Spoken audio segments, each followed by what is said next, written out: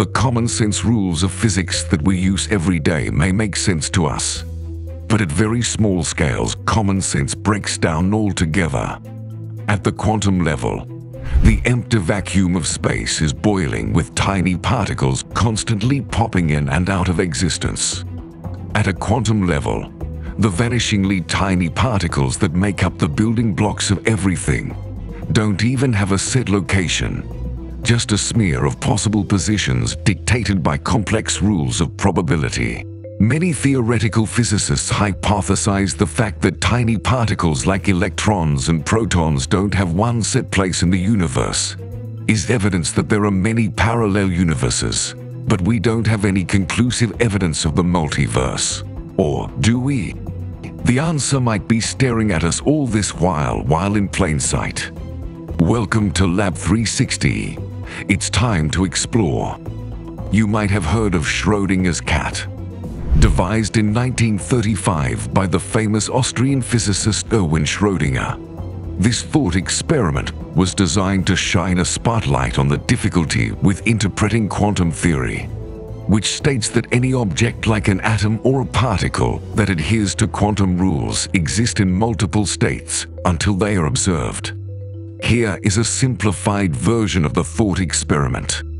A living cat is placed into a steel chamber along with a hammer, a vial of hydrocyanic acid, and a very small amount of radioactive substance. If even a single atom of the radioactive substance decays during the test period, a relay mechanism will trip the hammer, which will in turn break the vial of poisonous gas and cause the cat to die. So until we open the steel chamber, the probability of the cat being dead or alive is 50-50. In other words, as long as we don't look, the cat is in a state of superposition. In the many worlds interpretation of quantum law, the observer and the cat simply exist in two realities, one in which the cat is dead and one in which the cat is alive. Yes, two universes running parallel to each other. Leading cosmologist Laura Mersini-Houghton says that fingerprints of these alternate universes can be identified in the cosmic background radiation at the very edges of the visible universe. And not only do these universes exist, says Professor Mersini-Houghton, but some could be more habitable than the one we're currently living in.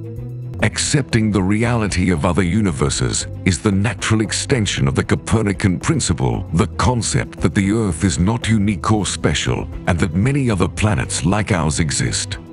Once we thought the Earth was the center of the universe, and then the solar system and our galaxy were the center of the universe. Now we are finding that even our universe is just one tiny grain of dust in a much more intricate and beautiful cosmos. The idea of a multiverse, once the subject of fringe scientific theories and wild science fiction stories, is now mainstream. But it took a long time to push the idea into mainstream physics. And guess what? A series of predictions Professor Mersini-Houghton made in 2005 have now been demonstrated to be true. She said that before the Big Bang, when all of the potential universes were crammed together in an infinitely tiny space. They would have left marks on each other, marks that can be observed today in the form of cold spots in the cosmic background radiation. And one of these cold spots, a cosmic void about 900 million light years across, was recently confirmed by two separate observations. We were the first to show how you can actually test the multiverse and that you don't need to go beyond the universe's observable horizon, she said. Not long ago, we thought that due to the speed of light limit, we may never have evidence for what lies beyond our horizon.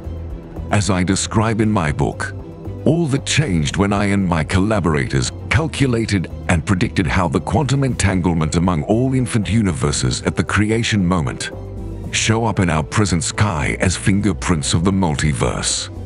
But don't rule out jumping into another reality just yet, because opening gateways to other planes of reality isn't impossible, just very, very unlikely.